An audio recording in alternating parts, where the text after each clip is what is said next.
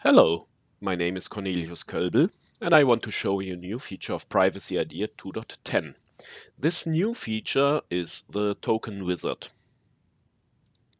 In all previous versions, the user was already able to log in to the privacyIDEA web UI to enroll tokens for his, on his own and for himself. The user can log in. He can see his tokens. He has no tokens at the moment. And he can start enrolling tokens. Enroll an HOTP token, scan it with a smartphone. Everything is fine. But there are many possibilities that might confuse the user. The user can see a list of tokens. He can see his token details. He can see his audit log. So we came up with a new idea with a token enrollment wizard. The token enrollment wizard is rather simple. It just says enroll a new token. You can customize additional text that helps the user to understand what he's doing at the moment. So the user just needs to hit enroll token and can scan the QR code. But still, there are many things that might confuse the user. So we again simplified this. Let's delete the tokens of the user. So the idea is that the user might need to enroll his very first token.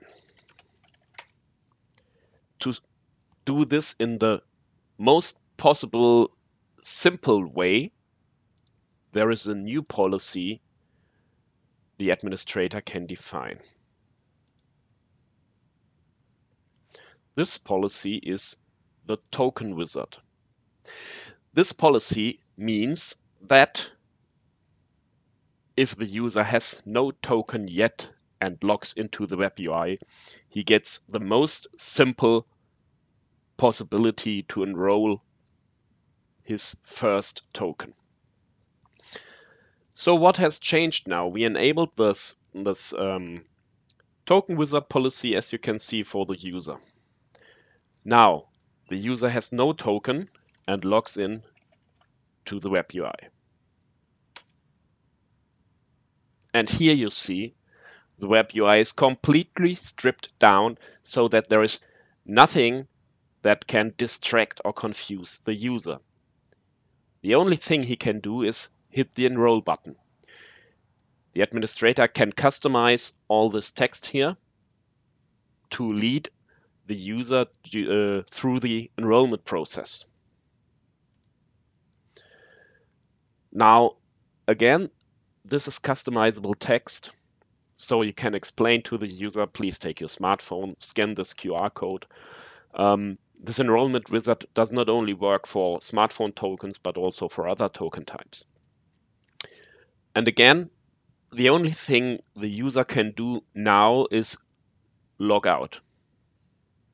So we hope to give an extremely easy workflow so that the user is capable of enrolling his tokens and um, this way to reduce the possible support calls to the help desk.